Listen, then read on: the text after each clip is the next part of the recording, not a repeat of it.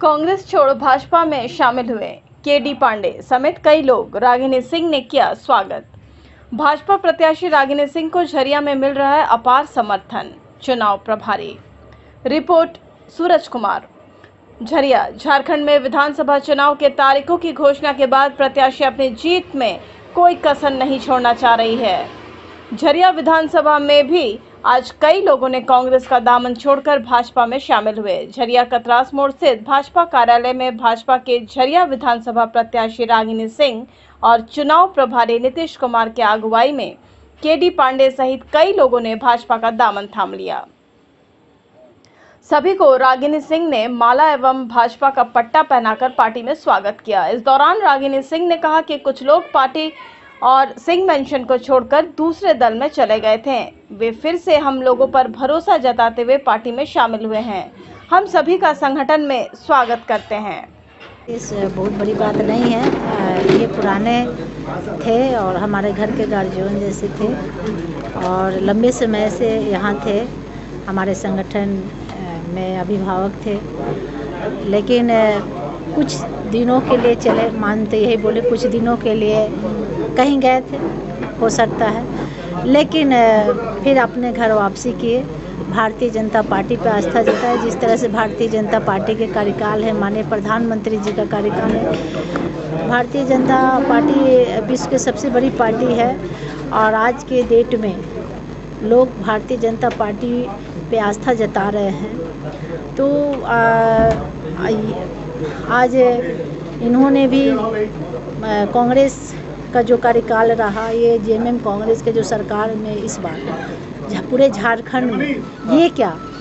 पूरे झारखंड की जनता मायूस है और इस सरकार से लोग मायूस होकर सभी लोग मायूस हैं और इस सरकार से मायूस होकर फिर से भारतीय जनता पार्टी पर उन्होंने आस्था जताया।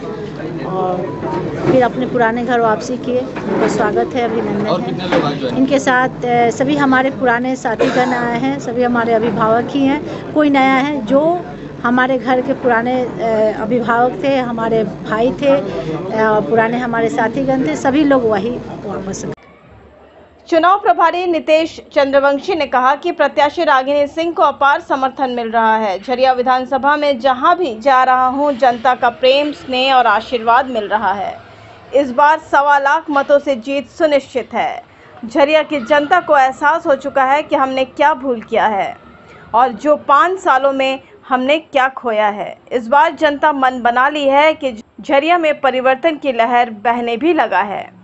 वहीं केडी पांडे ने कहा कि किसी कारणवश हम लोग दूसरी जगह चले गए थे, लेकिन प्रधानमंत्री नरेंद्र मोदी के कार्यों, भाजपा और रागिनी सिंह पर विश्वास जताते हुए पुनः भाजपा में शामिल हुए हैं। तो माननीय मंत्री जी जो गुजर गए उनसे शुरू हुआ। वो भी जीते के बड़ी बहन देवी जी दो बार जीती। देवी जी था उनका भी इलेक्शन अटेंड करने का मौका मिला जीती संजीव बाबू जी जीते सबसे ज़्यादा मुझे संजीव सिंह जी मानते थे। और आज के डेट में भी मानते हैं।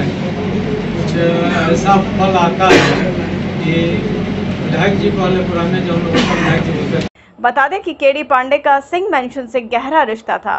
वे विधायक सूर्यदेव सिंह, कुंते सिंह और संजीव सिंह के साथ काम कर चुके हैं, लेकिन 2019 के विधानसभा चुनाव के समय कांग्रेस के साथ चले गए।